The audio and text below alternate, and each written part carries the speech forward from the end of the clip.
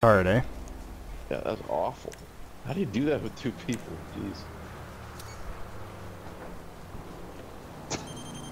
Jeez.